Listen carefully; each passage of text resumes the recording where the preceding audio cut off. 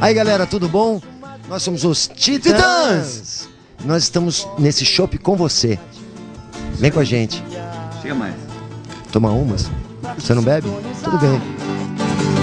sozinha numa ilha, sonífera ilha, descansa meus olhos, sossega minha boca,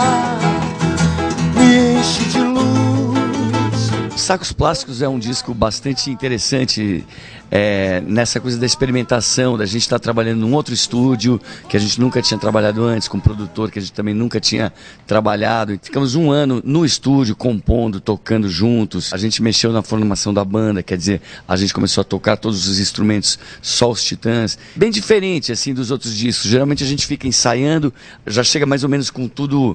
Ali não, a gente gravava, experimentava, via o que funcionava, então... Foi muito interessante. Rolou uma química no estúdio, isso é, é importantíssimo.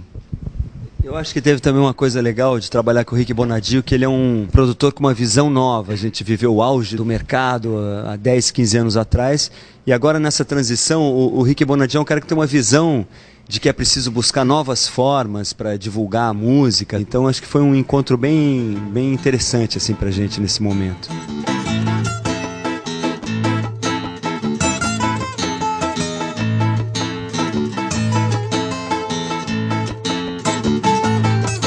Posso mais viver assim ao seu ladinho.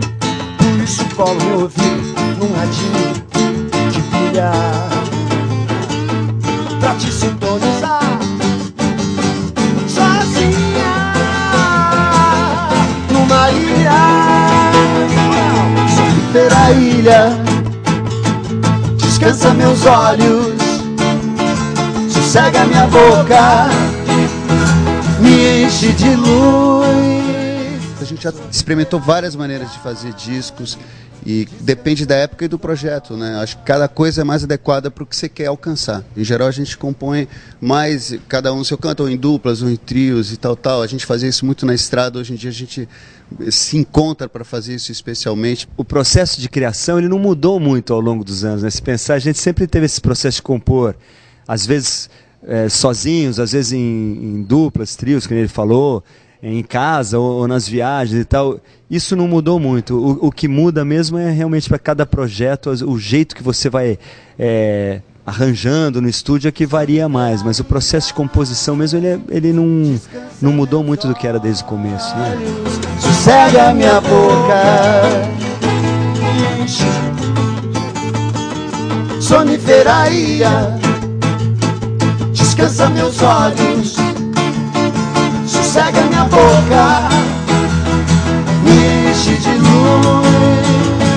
Na nossa época, poucas eh, cantoras eram também compositoras. Eu tinha aquela coisa de ser intérprete, tem uma tradição muito grande disso no Brasil, né? Mas assim, compositoras e pessoas que deixam sua marca de som, tem uma sonoridade e tal, tal.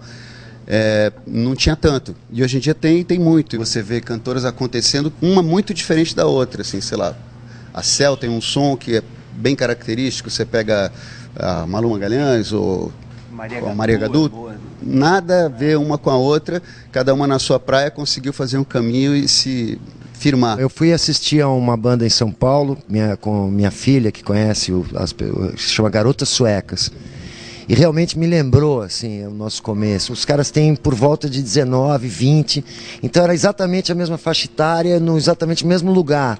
E com aquela gana. é, então eu- foi inevitável uma nostalgia, assim, sem, sem enxergar aquela mesma situação, assim, foi uma coisa muito legal. É interessante isso que apesar do mercado ter mudado muito, quer dizer, hoje tem a questão da internet, o disco está em crise e tal, mas a, o feeling assim, é muito parecido, quer dizer, uma banda começando é, é como era na nossa época, como era também 20 anos antes da gente começar, quer dizer, as pessoas ficam muito imbuídas, dando sangue para aquilo acontecer tal. É legal ver que as coisas nesse sentido não mudam muito, quer dizer, as pessoas têm muita paixão ainda, muita vontade de fazer alguma coisa e de se manifestar, se expressar.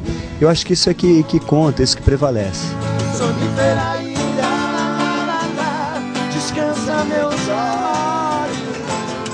Traga minha boca,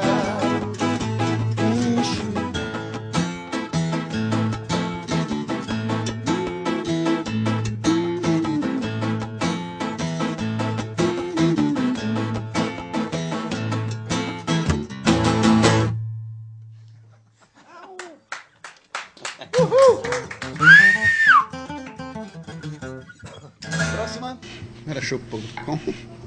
Shop.com.